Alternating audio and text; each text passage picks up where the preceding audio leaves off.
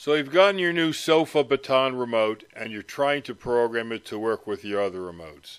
Well, it's real easy if you follow the instructions on the yellow instruction card. You will have your uh, Sofa Universal remote working in no time.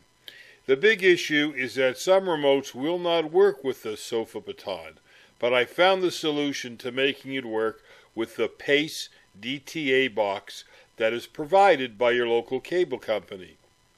The problem is that they made two versions of the remote. One will work, one will not. These remotes are interchangeable, so the remote is not necessarily paired to the PACE DTA box, which makes it even easier to make it work with your Sofa Baton remote. You can take your Sofa Baton remote to your local cable store and run the programming right in the store or you can trade in your non-compatible remote for one that works. Here are some programming tips to help you. I programmed A on my Sofa Baton to be my source button from my TV remote.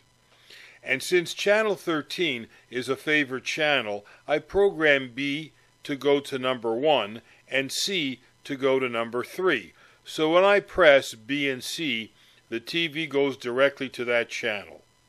I hope this helps and all of you enjoy this great remote as I do. And I have now eliminated two remotes into one, plus the convenience of my Fire Stick remote.